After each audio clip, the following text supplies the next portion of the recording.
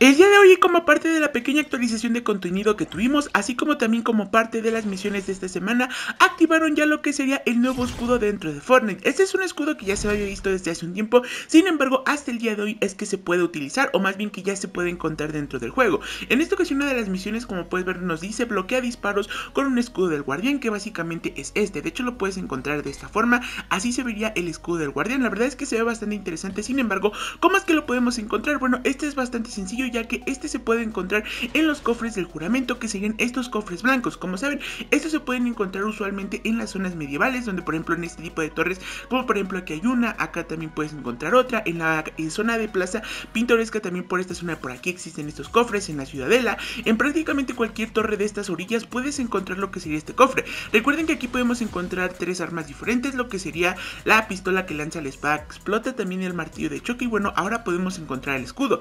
¿Cómo funciona? Bueno, tiene dos usos. Uno, como puedes ver, que es el clásico, que es utilizarlo y puedes ir avanzando con el escudo. Sin embargo, también tiene otro uso que, como puedes ver, lo puedes lanzar. Para lanzarlo únicamente es apretar el botón con el que apuntas y después con el que disparas. Y como puedes automáticamente desplegar lo que sería el escudo en una zona. Lo puedes ir a recoger y puedes volver a utilizarlo. En esta ocasión incluso hasta lo puedes lanzar ahí. Que como puedes ver, ahí se quedaría y de cierta forma te podría funcionar como cobertura para más adelante. Para que te cubra de jugadores. Tal vez eh, para avanzar un poco más rápido lo puedes agarrar y lo puedes avanzar. Tal vez hay un jugador, lo avances y tú sigues corriendo sin ningún problema. Entonces, tiene la verdad bastantes usos los cuales iremos descubriendo poco a poco.